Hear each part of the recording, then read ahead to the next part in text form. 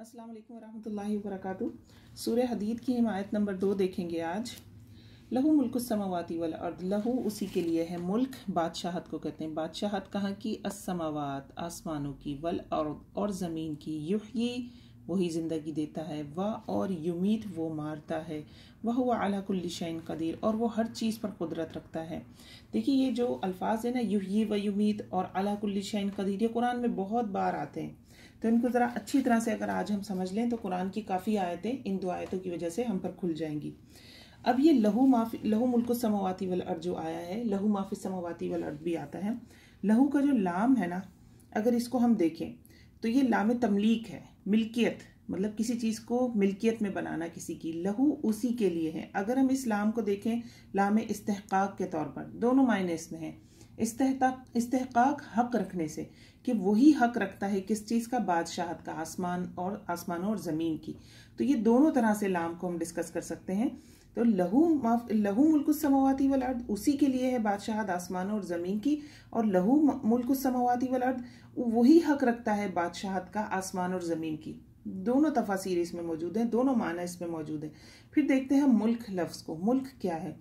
मुल्क बादशाही है। मलक होता है ना, बादशाह, मालिक, जो मालिक हो, अगर हम मिल्क कहें इसे, मीम के नीचे जेर लगा देते हैं तो ये बनता है मिल्क। ये कहाँ आ गया? मिल्कियत। ये दोनों मफहम इसमें मौजूद है कि मिल्कियत है। क्या चीज़ मिल्कियत है? आसमान और ज़मीन अल्लाह ही की मिल्कियत है। और दूसरे मायने जो यहाँ नज़र आ रहे हैं, मुल्क, बादशाहत, आसमान और ज़मीन की बादशाहत, उसी के लिए है। अब इन अल्फाज को देखते हैं, समावाती वाला अर्द। आसमान और ज़मीन की बात की गई। कोई ऐसा लफ्ज़ नहीं आया, जैसे कायनात का लफ्ज़ आता कि सारी कायनात उसी के लिए है। या वही बादशाह है तमाम कायनात का। कुरान का ये एक उसलूब है। कुरान में अगर हम देखें तो असमावात वल अर्द, यही अल्फाज आते हैं। देखिए, अब इसको हम इस तरह समझ सकते हैं कि अल्लाह रब्बुल इज़्ज़त ने यही दो अल्फाज इस्तेमाल किए हैं और बार बार इस्तेमाल किए हैं कुरान में। क्यों? वजह उसकी सबसे पहली तो ये बनती है, जो पहले जो अव्वलीन मुखातिब हैं, वो उम्मी थे। अरब उम्मी थे। उन्हें नहीं पता था कायनात क्या होती है। आसमान और ज़मीन से चीज़ समझ आती है, नज़र आ रही है। दूसरी चीज़, कायनात, अगर हम आज के हवाले से देखें तो कायनात जो है वो, उसकी तो बाउंड्रीज भी नहीं हमें पता। हमें नहीं पता कि वो कहाँ तक है, कितनी है, वो तो मज़ीद दिन ब दिन फैल रही है। कुरान से भी हमें पता चलता है और साइंटिफिकली भी ये पता चला है कि कायनात दिन ब दिन वसी होती जा रही है।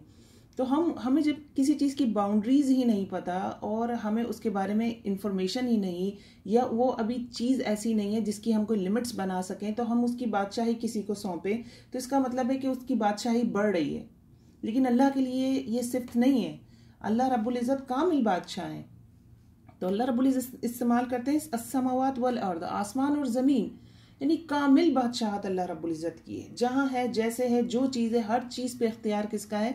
अल्लाह रब्बुल इज़्ज़त का ही है। तो ये जो दो अल्फाज बार बार कुरान में आते हैं तो इससे हमें ये एक, एक बात समझ आती है एक इसके पीछे क्या वजह है वो वजह समझ आती है कि अल्लाह रब्बुल इज़्ज़त ने इन अल्फाज का इंतखब क्यों हुआ। क्यों किया? बेशक अल्लाह रब्बुल इज़्ज़त मज़ीद जानते हैं कि क्या इसमें मज़ीद हमत है, हम तो नहीं जानते, लेकिन जो हमें अपनी अकल की बुनियाद पर और कराम ने जो तफसीर की है मुफसरीन जो तफसीर की है, उसके हवाले से जो चीज़ समझ आती है वो ये है। अगला जो लफ्ज़ आ रहा है युही व युमीत, ये दो सिफ़ात हैं अल्लाह रब्बुल इज़्ज़त की युही वो ज़िंदा करता है, व युमीत और वो मौत देता है, ये दो सिफ़ात भी कुरान में बारह बयान की गई हैं। अब ये क्या है? युही व युमीत, ज़िंदा दिन, ज़िंदा करना और मारना।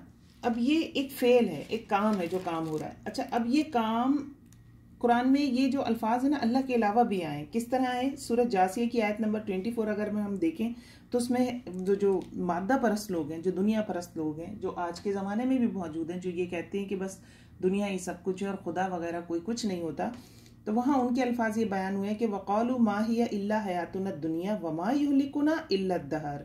कि दुनिया की ज़िंदगी कुछ भी नहीं है, ये ज़माना है हम जीते हैं, हम मरते हैं तो हमें हलाक नहीं करता, मगर सिर्फ़ ज़माना। यानी रोज़ की जो ये ये जो अयाम गर्दिश है रात की और दिन की, सूरज निकल रहा है, गुरूब हो रहा है, ज़िंदगी गुजर रही है, बस यही ज़िंदगी है। एक वक्त आएगा, हम मर जाएँगे। कोई खुदा नहीं है जो हमें, नाउजबिल्ला, जिसने हमें पैदा किया, जो हमें मारता है। तो ये उनका कॉन्सेप्ट भी बयान हुआ है यहाँ पे। तो यहाँ पे ये बताया जा रहा है कि नहीं, अल्लाह रब्बुल इज़्ज़त ही ज़िंदगी देते हैं और अल्लाह रब्बुल इज़्ज़त ही मौत देते हैं। ये लफ्ज़ एक जगह और कुरान में किस तरह से आया अल्लाह के अलावा? नमरूद ने कहा सूर्य बकरा आयत 258 अगर हम देखें तो वो एक बड़ी आयत है और उसमें क्या कहा था उसने? कौला अना उही व उम्मीद उसने कहा था, नमरूद ने हज़रत इब्राहिम सलाम से कि मैं ज़िंदगी देता हूँ, मैं मारता हूँ। और उसने अपने दो कैदियों को बुलाए जिन पर सजाए मौत का हुक्म सुना चुका था वो। उस, उन दो कैदियों को बुलाकर उसने कहा कि एक को आज़ाद कर दिया और एक को कहा कि इसको सजा दो। तो उसने कहा, देखो, मैंने ज़िंदगी दी और मौत दी। तो हज़रत इब्राहिम सलाम ने क्या कहा था कि मेरा रब तो सूरज को मशरक से निकालता है तो इसे मगरब से निकाल कर ले आया। फबूहित लदी कफर। फिर आगे आयत का हिस्सा आता है कि वो मबूत हो गया, वो सोचने लग गया कि अब मैं क्या करूँ। तो ये जो यही व उम्मीद है ना, ये अल्लाह रब्ज़त की सिफात है और अल्लाह रब्ज़त ही अब अब होता क्या है? अब इसमें हमारे लिए जो बड़ा बारीक सा डिफरेंस है ना, इसको हमें समझने चाहिए इसको हमें समझना चाहिए। एक है फ़ाइल हकीकी। हकीकी तौर पे सारे काम करने वाला। वो अल्लाह रब्ज़त है। एक है ये नस्बत हकीकी है बेसिकली जो हम, हकीकी नस्बत है वो अल्लाह की तरफ़ से है एक होती है नस्बत मजाजी। ये जो नमरूद का कॉन्सेप्ट है ना, ये वो अपने लफ्ज़ों में तो ठीक कह रहा था कि देखो मैंने एक को ज़िंदा कर दिया, एक को मार दिया, नहीं, एक को छोड़ दिया, ज़िंदगी बख्श दी। ये नस्बत थी मजाजी। हम भी देते हैं ना मजाजी नस्बत। हम कैसे कहते हैं? जैसे हम जीते हैं, हम मरते हैं, हम खड़े हुए हैं, हम बैठे हुए हैं, हमने फला चीज़ उठा ली है। इस तरह के अल्फाज हम कहते हैं ना, ये नस्बत मजाजी हैं, ये बारीक फ़र्क है। हमारे दिल के अंदर फ़ाइल हकीकी हर वक्त मौजूद होना चाहिए कि फ़ाइल हकीकी अल्लाह रब्बुल इज़्ज़त ही है। मेरी इस कामयाबी के पीछे या मेरे इस फेल के पीछे जो भी काम मैंने किया है, ये अल्लाह रब्बुल इज़्ज़त के इज़न से हुआ है। असल करने वाला अल्लाह रब्बुल इज़्ज़त ही है। मैं अपने आप को एक नस्बत दूँगी, वो नस्बत मजाजी होगी। ये बस ये हकीकत जो है ना, ये जहन में रहनी चाहिए। अगर ये दिल में रासक हो जाए ना बात तो मामला सीधे हो जाए। देखिए, इरादा है, एक नीयत है। ये दो चीज़ें हैं। इंसान करता है, नीयत करता है, इरादा आता है, उसके दिल में अच्छा मैं ये काम करूँगा, ठीक है? अब इस सब, ये जब अमाल पे बात आती है तो क्या हो जाता है? अमाल का कर अभी मैंने क्या कहा? फ़ाइल कि, अल्लाह रब्बुल इज़्ज़त है। तो अमाल को करने वाला अल्लाह ही है। मैंने कलम उठाया, मैंने इरादा किया, मैंने कलम उठा लिया। कलम उठाया कैसे उठाया? इरादा किया ना, उठाया, कोशिश की, उठा लिया। लेकिन इसको वजूद में कौन लाया? इस फेल को वजूद में कौन लाया? इस फेल को करने वाला कौन है? अल्लाह के इज़न के बगैर क्या हो सकता था? नहीं हो सकता था। तो ये बड़ा बारीक सा डिफरेंस है। अगर अल्लाह का इज़्ज़त ना हो तो किसी चीज़ का भी नतीजा वजूद में नहीं आ सकता। और यही अल्लाह रबुल्ज़त की बड़ी रहमत है कि कुरान में अल्लाह रबुल्ज़त ये नहीं कहा कि नतीजे लेकर आओ। कुरान में अल्लाह रबुल्ज़त कह, फरमाते हैं कि तुम्हारी कोशिश देखी जाएगी, तुम्हारी कोशिश देखी जाएगी। तो असल चीज़ वही होती है जो हम नियत करते हैं, हम इरादे करते हैं और फिर हम उसके लिए कोशिश शुरू करते हैं। और यही छोटा सा इख्तियार है, थोड़ा बहुत इख्तियार है। इरादों पे भी अल्लाह रब्बुल इज़्ज़त का इख्तियार है, लेकिन कुछ कहीं हमारा थोड़ा सा इख्तियार है। इस सेंस में इज़न उसमें अल्लाह का सौ फ़ीसद शामिल है। इस सेंस में कि हम उस इरादा करते हैं और नियत करते हैं और फिर देखिए अगर ऐसा नहीं होता तो फिर इरादे और नियत पे निकियाँ क्यों होती? इरादा करने पे भी आपको पता है ना, नेकी मिलती है। अच्छे काम का इरादा करें और अगर हम ना कर पाएँ तो तब भी हमारे लिए नेकी लिख दी जाती है कि हमने इरादा किया था। तो ये सारी चीज़ें बड़ी बारीक डिफरेंस है, एक बहुत बड़ी बहस है किस्मत को लेकर इस बात पर की जाती है कि किस्मत और इख्तियार इंसान का। तो इसमें बस समझने वाली बात ये कि फ़ाइल हकीकी अल्लाह रब्बुल इज़्ज़त ही है, लेकिन ऐसा नहीं है कि हमें अल्लाह रब्बुल इज़्ज़त ने अगर सारी कुछ ऐसे ही रखना था तो फिर दुनिया में भेज दिया और जन्नत भी बना दी और जहनुम भी बना दी। कुछ चीज़ें हैं जिनको हम देखें, गौर करें तो हमें पता चलता है कि नहीं, हमें जो है, फ़ाइल हकीकी अल्लाह को ही समझना है, लेकिन हमारी अपनी सोच है, एक हमारी अपनी नीयत है। हाँ जहन में है, जो अल्लाह चाहेंगे वही होगा, लेकिन मैं क्या सोचती हूँ, मैं क्या देख रही हूँ, मैं क्या करना चाहती हूँ? इसी तरह जो पीछे लहू माफिस लहू माफिस लहू मुल्क समावाती वलट अगर इस आयत को देखें तो यहाँ भी यही बात पता चलती है ना कि अल्लाह ही के लिए सब कुछ, सारी बादशाहत उसकी है। मेरा इख्तियार तो मेरे अपने जिसम पे नहीं है, अगर मैं चाहूँ कि होती है ना बीमारी इंसान में, इंसान चाहता है कि नहीं वो ठीक हो जाए, वो दुरुस्त हो जाए, क्या वो हो सकता है? वो कितने डॉक्टर्स के पास जाता है, फीसेस भी अदा करता है, सब कुछ करता है, लेकिन इख्तियार, कामिल, अल्लाह रब्बुल इज़्ज़त का ये हम पर। हम तो अपने जिसम पर इख्तियार नहीं रखते, हमारे जिसम के अंदर फिल वक्त, इस वक्त जब हम बात कर रहे हैं और हम सुन रहे हैं, न जाने कितने खलिए टूट फूट रहे होंगे। हो सकता है कोई अच्छे खलिए टूट फूट रहे हों जिनकी हमें शदीद ज़रूरत है।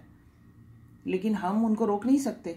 जो हम चाह रहे हैं कोई बहुत सारी एंटीबायोटिक्स बन रही होती हैं जिसम में। हम चाह रहे हैं कि बहुत सारी किस, कोई ऐसा दाखिल हो गया एंटीजन हमारी बॉडी में जिसकी एंटीबॉडी हमें चाहिए और हमारा जिसम नहीं बना रहा। हम नहीं बना सकते ज़बरदस्ती अपने जिसम में वो एंटीबॉडी तो हमारा तो अपने जिसम पर इख्तियार नहीं है। कहा यह कि आगे कुछ हो। अब आगे ये जो अगली हिस्सा है आयत का, वह अला कुल्ली शैन कदीर, इस, ये भी बड़ा अहम है, यह कुरान में बार बार होता है रिपीट होता है, इसको भी हम देखें।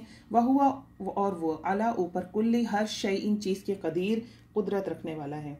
देखिए, इंसान जो है ना, वो बहुत तंग दामन है। वो अल्लाह रबुल्ज़त को समझ नहीं सकता। अल्लाह की ज़ात का, ज़ात को समझना, अल्लाह की ज़ात तो वरा वरा वरा, बहुत सुम्मा मावरा वो तो बहुत ऊँची है, बहुत बुलंद है। हम उसको नहीं समझ सकते। अल्लाह की ज़ात की मारिफत वो इंसान के अख्तियार में नहीं। हमारी अकल इतनी बनाई ही नहीं गई। आज हम दुनिया में हमारी आँखें ऐसी नहीं है कि हम सूरज की तरफ़ मुस्तकिल देख लें। नहीं देख सकते, ना कहाँ देख सकते हैं? फिर अल्लाह रबुल इज़्ज़त की ज़ात को लेके उसको सोचना कि वो कैसे हैं तो ज़ात का अहाता अल्लाह रबुल्ज़त की मार्फत उसकी वो हम हासिल कर सकते हैं किस तरह से? ज़ात की नहीं, सिफात की। ठीक है किसी शख्स को जानने के लिए आपको किस चीज़ की ज़रूरत होती है? कि वो कैसा है, दिखने में कैसा है और उसकी उसके अंदर सिफात क्या है? तो अल्लाह की ज़ात कैसी है, वो तो हम बिल्कुल ही नहीं उस तरफ़ जा सकते, हम नहीं सोच सकते। वरना हर शख्स अपने दिल में एक अलग ज़ात बना ले, अल्लाह की अल्लाह ऐसे हैं, अल्लाह रब्बुल इज़्ज़त ऐसे हैं, अल्लाह रब्बुल इज़्ज़त ऐसे तो जितने इंसान होंगे उतने खुदा बन जाएँगे। अस्तफ़िर वनाउज़बिल्ला अब अल्लाह की ज़ात की मारिफत के हवाले से हम सिफ़ात देखेंगे तो अल्लाह की सिफ़ात की मारिफत फिर वो हमें निन्यानवे नाम मिल जाते हैं। अब उनमें भी हम नहीं पता कर सकते। मतलब अल्लाह समी है, ये सिफ्त है अल्लाह की, अल्लाह सुनता है। हमें नहीं पता कैसे सुनता है, हमें नहीं पता कितना सुनता है। हम कहते हैं कि हर चीज़ सुन लेता है, हर तरह से सुन लेता है। इसी तरह अगर हम देखते हैं, कहते हैं, अगर सिर्फ़ लेते हैं बसीर, अल्लाह बसीर है तो हमें नहीं पता बसीर देखने वाला, बसारत रखने वाला, अल्लाह देखता है। कैसे देखता है, हमें नहीं पता। हमारी अकल वही आँखों वाली मिसाल की हमारी आँखें नहीं बनी कि हम सूरज देख सके तो हमारी अकल भी नहीं बनी कि हम ये चीज़ों को समझ सके दुनिया में। जन्नत में दीदार होगा अल्लाह रब्बुल इज़्ज़त का, वहाँ बंदे खुद देख लेंगे अल्लाह को। दुनिया में हमें वो नहीं दी गई क्वालिटीज़ तो अल्लाह अगर बसीर है तो फिर देखता है तो कैसे देखता है? हमें नहीं पता। कितना देखता है? मतलब क्वालिटी और क्वांटिटी दोनों हमें नहीं पता। तो हम क्या करते हैं? हम बचने के लिए हम ये लफ्ज़ ले आते हैं कुल्ली शई कुल्ली शई हर चीज़। वह आला कुल्ली शई इन कदीर। हम कुल का लफ्ज़ ले, आ, ले आते हैं। अल्लाह देखता है अल्लाह सब कुछ देखता है। कैसे देखता है? हमें नहीं पता। लेकिन अल्लाह सब कुछ देखता है। उसकी बसारत कैसी है? हमें नहीं पता। हम नहीं समझ सकते लेकिन कुल है। मुकम्मल है, कामिल है। अल्लाह रब्बुल इज़्ज़त की हर सिफ्त कामिल है। लोग भी रहीम होते हैं, रहम करते हैं, लेकिन उनकी अताई है। अल्लाह ने दी है उनको ये सिफ्त। हर शख्स में नहीं होता रहम।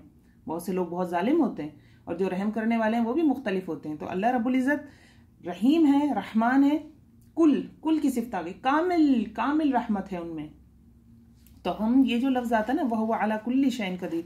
ये कुल का इस्तेमाल करके ना, हम इंसान की जो कमी है, हम इंसानों की जो कमी है ना समझने की या जो अकल का नुक्स है, हम इसको कंपनसेट कर लेते हैं वहाँ पे। और ये कुरान में अल्लाह रबुल्ज़त ने आज हमें समझाया, इसी तरह बार बार आती हैं आयात।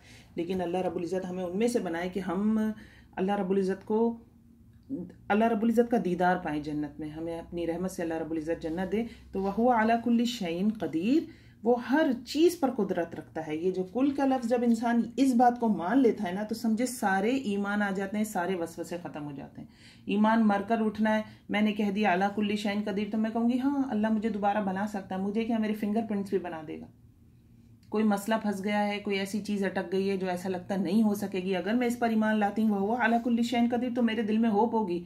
अल्लाह जो चाहे कर सकते हैं, हो सकता है मेरा मसला हल हो जाए, अल्लाह बिल्कुल हल कर सकते हैं। वसवसे भी ख़त्म करती है ये आयत, अगर हम ईमान ले आए इस पर। दिल से जिसे कहते हैं ईमान लाना, शौरी ईमान लाना। और क्या करती है? ईमान को भी मज़बूत करती है। तो ये बहुत खूबसूरत आयत है। यही वजह है, आप देखें कि ये अल्फाज जो है, मुल्क समवाती वलर्द लहू माफिस समवाती मुमाफिल अर्द, इस तरह के अल्फाज कुरान में बार बार आते हैं। और ये आयत भी बार बार आती है। वह अला कुल्ली शैन कदीर। तो ये बार बार आने के लिए इनको अच्छी तरह से समझना बहुत ज़रूरी था। अल्लाह रबुल इज़्ज़त हमें तौफीक दे कि हम कुरान को समझ सकें, क्योंकि जब हमें अल्लाह की मार्फत होगी तो उससे मोहब्बत बढ़ेगी, ईमान मज़बूत होगा। जिसको हम जानते ही नहीं कि कैसा है, जो हमें थोड़ी बहुत अकल मिली है, उसके हिसाब से जो कुरान की आयत हमारे सामने, जो अहादीस नबवी सल्लल्लाहु अलैहि वसल्लम हमें मिलती हैं, उनकी रोशनी में अगर हम अल्लाह की ज़ात को पहचाने, जितना हम पहचान सकते हैं तो यकीनन हमारे इल्म के साथ साथ किसमें इजाफा होगा? हमारे अमल में इजाफा होगा। क्योंकि मार्फत ही अमल है। एक जुमले के साथ अपनी बात ख़त्म करूँगी और वो जुमला बड़ा खूबसूरत है। मार्फत के हवाले से मैं ये बताना चाहूँगी कि मार्फत और अल्लाह की जो इबादत है, वो जुड़ी हुई है। इल्म इल्म जो हम एजुकेशन हासिल करते हैं, खासकर कुरान का इल्म, उसकी इंतहा क्या है? मेरी नॉलेज की इंतहा क्या है कि मैं अल्लाह को पहचानूँ, जितना पहचान सकती हूँ। तो इल्म की इंतहा है अल्लाह की मार्फत। और अमल, दुनिया में मैं जो भी काम कर रही हूँ, आप जो भी काम कर रहे हैं, अमल की इंतहा क्या है? अल्लाह की बंदगी जो हमारे इख्तियार में जितनी हम कर सकें। ये दो इंतहाएँ हैं। जितना इल्म दुनिया में चाहे दुनिया का हासिल किया, वो भी अल्लाह तक जोड़ता है इंसान को, चाहे कुरान का हासिल किया, वो वो तो भी अल्लाह की तरफ़ जोड़ता है। तो इल्म की इंतहा क्या है? इंसान अल्लाह को पहचानने लगे और जो अमल मैं करती हूँ, सुबह से उठकर रात तक सारी ज़िंदगी में जो अमल आप सब कर रहे हैं, हम सब जो अमल कर रहे हैं, उसकी इंतहा क्या है कि उसमें अल्लाह को राज़ी करने की कोशिश शामिल हो। जितनी मार्फत बढ़ेगी, उतना अमल भी बढ़ेगा। दोनों जुड़े हुए हैं, दोनों जुड़े हैं। कुरान में कुछ ऐसी आयात आती हैं जहाँ पे वो, बल्कि मैं आपको बताती हूँ, वमा खलकतुलजन्ना वल इंसा याबदून के अल्लाह ने, अल्लाह रबुल्ज़त फरमाते कि मैंने जिन और इंस को सिर्फ़ इसलिए पैदा किया कि वो मेरी बंदगी कर सकें। मतलब नहीं पैदा किया, मगर इसलिए कि वो मेरी बंदगी करें। वर्ड टू वर्ड ट्रांसलेशन ऐसे बनती है। तो जो बंदगी का लफ्ज़ है ना, जो भी मैं आपको बता रही हूँ, अमल की इंतहा बंदगी है। तो जो बंदगी का लफ्ज़ है ना तो उसकी तशरी में मुफसरीन कराम यारिफूना का इस्तेमाल करते हैं लफ्ज़, कि मार्फत। बंदगी का मतलब यहाँ मार्फत है, कि नहीं मैंने पैदा किया इंसानों को और जिनों को, मगर इसलिए कि वो मेरी मार्फत हासिल करें, मुझे पहचाने। तो ये मार्फत और अमल, ये गुंधे हुए हैं। ये जो सूरह हम हदीद कर रहे हैं, बड़ी डिटेल इसकी शुरू की आयत की तफसीर अल्हम्दुलिल्लाह चल रही है। वजह उसकी यही है कि जो शुरू की छः आयत है ना सूर्य हदीद की, इसमें अल्लाह रबुल्ज़त की मार्फत है। अगर हम अल्लाह को पहचान लें कि अल्लाह रबुल्ज़त को जानने की कोशिश करें, जितनी हमारी अकल है, जो जितना इल्म हमारे पास है तो हमारा अमल बढ़ेगा। हम सबका मसला यही है ना कि हम कुरान भी पढ़ते हैं और दूसरी चीज़ें भी करते हैं, लेकिन हम, हमारी इबादत में रूह नहीं आती, बेरूह इबादत होती है हमारी। तो वजह उसकी यही होती है कि जिसके सामने हाथ बाँध कर खड़े हैं, पता ही नहीं है वो क्या है। वो कितनी मोहब्बत करता है, वो कितनी रहम करने वाला है, और अगर हम नाफरमानी करेंगे तो वो कितनी पकड़ करने वाला है। तो अल्लाह रबुल्ज़त हमें अपनी मार्फत से नवाजे। असल वरहमल वर्का